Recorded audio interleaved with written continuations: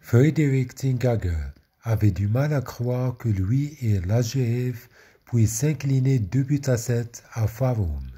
AGF a reçu une leçon de football lors de la visite du club au FC Nordjylland en Superliga lundi soir.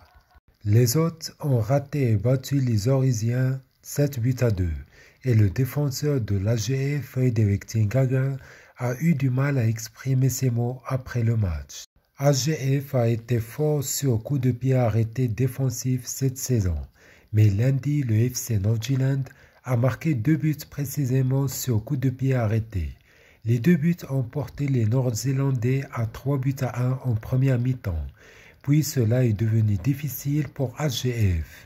Et avec 11 points d'avance sur le FC Copenhague et le FC Nordjylland, respectivement 3e et 4e, AGF est désormais effectivement hors de la lutte pour les médailles en Super League.